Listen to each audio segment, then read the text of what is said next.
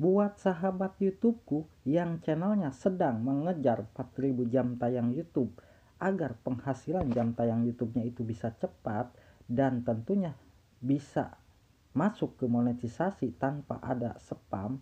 Di sini saya pun hanya menggunakan satu handphone ya. Mungkin apabila sobat semua menggunakan lebih dari satu handphone itu lebih cepat lagi ya. Dan di sini pun saya dalam 28 hari sudah mencapai 780 jam tayang. Dan apabila masuk ke tampilan 365 hari terakhir, itu channel saya sudah melebihi ya target ya karena di sini sudah dapat 4176. Tetapi ini tidak sama dengan yang ada di monetisasi ya. Sedangkan yang ada di monetisasi itu baru mencapai 3230 ya. Itu tandanya masih kurang ya. Dan kenapa sih perbedaannya sangat jauh? Padahal yang di analitik itu sudah mencapai syarat. Karena di sini saya itu upload video short juga ya. Dan untuk penghasilan jam tayang yang di video short itu tidak dihitung ya. Coba saya coba buka salah satu video short yang memang viewernya banyak misalkan ya. Itu saya buka video shortnya yang ini ya, yang kemarin yang tiga hari yang lalu. Dan di sini saya coba buka analitik video ini. Penghasilan jam tayangnya apabila kita buka itu mencapai 254 jam tayang. Tetapi ini tidak dihitung ya karena yang dihitung oleh YouTube itu video-video yang memang berdurasi panjang. Karena ini adalah video pendek ya termasuk tidak dihitung penghasilan jam tayangnya jadi perbedaan antara penghasilan jam tayang yang ada di monetisasi dan yang ada di analitik itu sudah pasti beda ya kalau di channel kita itu upload juga video short ya seperti yang kita ketahui untuk video short itu sebetulnya untuk menambahkan subscriber dan juga tentunya untuk nanti apabila channel kita itu sudah bisa mendapatkan syarat bonus akan mendapatkan bonus juga ya dari YouTube Short. Nah, di sini saya mendapatkan 3300 300 ya udah mencapai 3300 itu hanya menggunakan cara yang saya bagikan saat ini ya. Nah langkah yang pertama agar channel kita itu penghasilannya tidak dianggap spam ya jam tayangnya mungkin apabila sobat semua masuk ke aplikasi YouTube saya buka aplikasi YouTube ya. Nah di sini mungkin apabila biasa sobat semua menonton video kita itu misalkan ganti akun nih. Kita ganti akun ya. Kita ganti akun. Nah misalkan ini saya masuk ganti akun ke channel Gable 2 ya.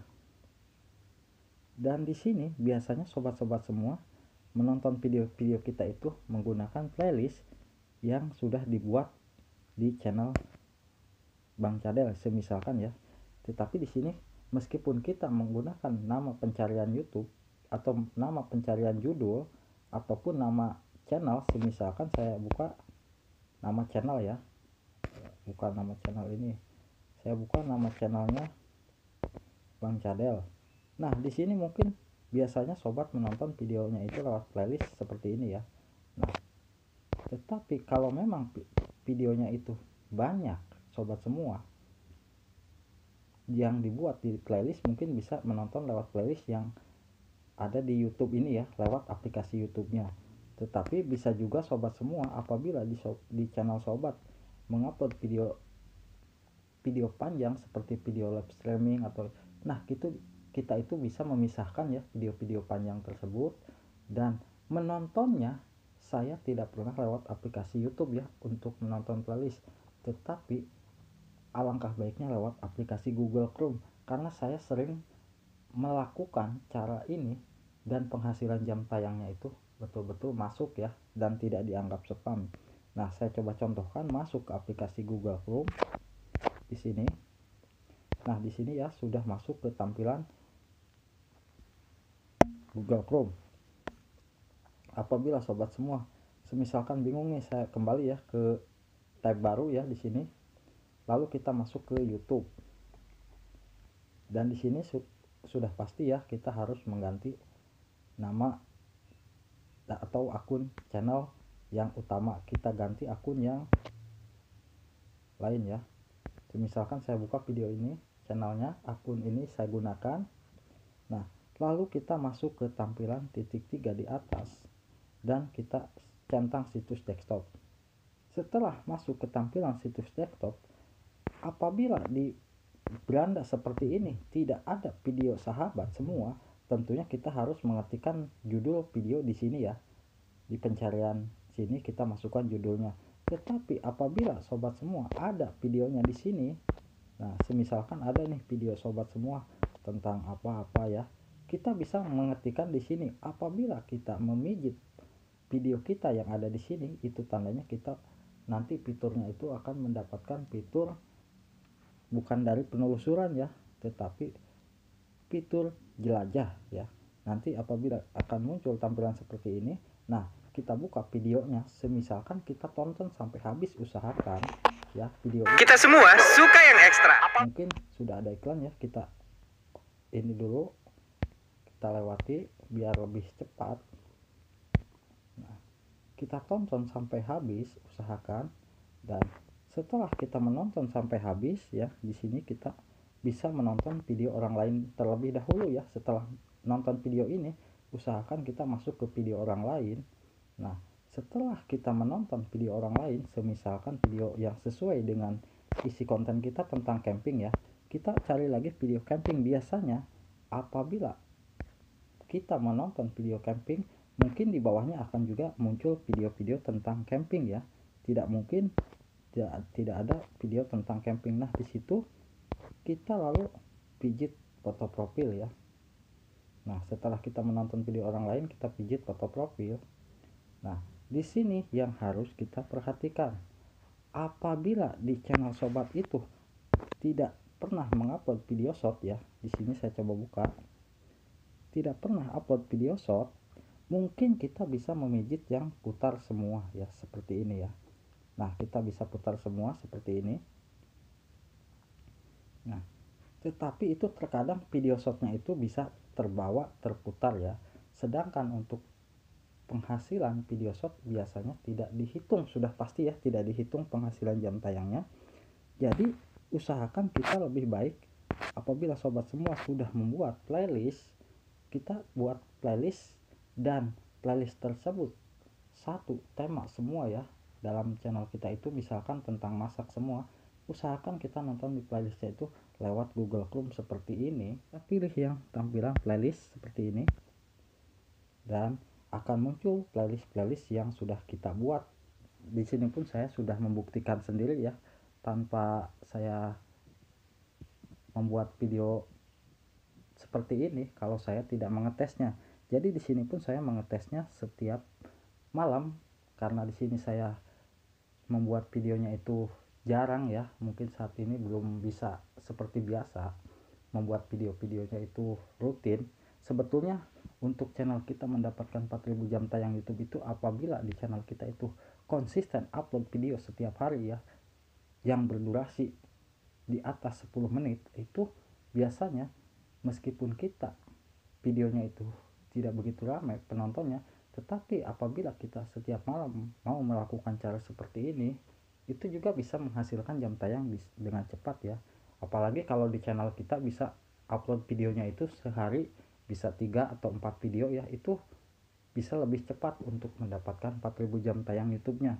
Tetapi kalau bagi kita atau bagi saya sendiri saya tidak bisa ya untuk upload video sebanyak itu karena mungkin waktu untuk membalas komentar kawan-kawan kita pun sulit ya jadi kita tinggal pilih yang playlist seperti ini. Coba buka ya playlistnya. Nah kita buka salah satu playlist. Dan di sini jangan lupa kita aktifkan ya yang ke kiri ke kanan. Nah setelah ini aktif usahakan ini kita pemutaran. Apabila di playlist kita cukup pemutarannya ini 0,25 ya. Beda dengan kita bisa memutar semua itu apabila kita pilih putar semua dan video kita itu tidak ada video shot itu lebih baik putar secara normal ya. Jadi kita bisa menambahkan viewer dan juga jam tayang ya. Nah di sini kita pilih yang 0,25 usahakan kecepatan 0,25 ya. Nah ini akan diperlambat ya pemutaran videonya itu. Dan di sini saya selalu melakukan cara ini di setiap malam ya. Setiap beres membalas komentar-komentar itu saya selalu menonton dengan cara ini. Dan di situ saya bisa menghasilkan jam tayang per hari mungkin bisa 30-40 jam ya. Dan saya karena belum sembuh total ya jadi saya belum sempat membuat video-video. Sebetulnya kalau saya rutin upload videonya tentang camping itu ya dan penghasilan jam tayang YouTube-nya itu bisa cepat ya. Nah, setelah ini usahakan besoknya itu usahakan kita jangan menggunakan akun yang ini lagi ya.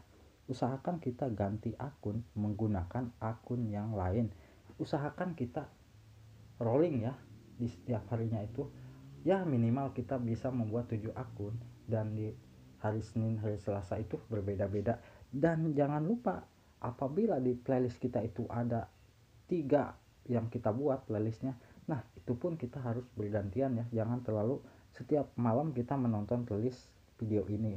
Jadi nantinya apabila sudah kita melakukan cara ini di sini kita cek ya dari penonton menemukan video kita itu kita harus perhatikan juga. Apabila ada sumber eksternal ya mungkin kita bisa atasi ya. Dan di sini kita cek ke analitik. Kita cek di analitik ya. Apabila kita sudah menggunakan cara tersebut yang saya bagikan di sini kita coba cek. Kita masuk ke konten. Nah di sini kan karena saya upload videonya itu tentang short sudah pasti kebanyakan ya cara penonton menemukan video Anda dari feedshot ya. Feedshot itu sudah pasti fitur yang disediakan untuk penonton video short atau video-video pendek ya. Nah dan di sini pun saya videonya ditemukan di penelusuran YouTube halaman channel dan fitur jelajah ya. Untuk sumber eksternal itu 0,3 itu tidak jadi masalah ya. Kalau ada sumber eksternal tetapi di paling bawah ya memang sih alangkah baiknya untuk sumber eksternal itu tidak ada atau di halaman paling bawah ya. Nah untuk seperti ini tampilannya ya itu bagus ya menurut saya. Karena di sini sudah ada penelusuran YouTube halaman channel fitur jelajah rekomendasi video dan notifikasi ya. Jadi di sini kita harus memahami ya cara untuk mengejar 40 jam tayang YouTube itu. Ya tentunya kita harus membuat playlist apabila di channel kita itu ada video shotnya. Karena apabila ada video shotnya itu terkadang video shot kita itu terputar dan penghasilan jam tayangnya itu tidak dihitung ya untuk video shot. Jadi lebih baik kita uploadnya itu atau nontonnya itu playlist tetapi kita lewat Google Chrome ya. Dan saya lakukan setiap malam jadi penghasilan jam tayang YouTube-nya itu bisa cepat ya. Semoga info singkat dari saya ini bisa bermanfaat ya buat sahabat YouTubeku. Jangan lupa untuk dukungannya buat channel ini. Mohon di like di komen dan juga di subscribe ya. Nah di sini kan sudah melebihi ya. Semoga bermanfaat. Saya doakan sukses selalu. Wassalamualaikum warahmatullahi wabarakatuh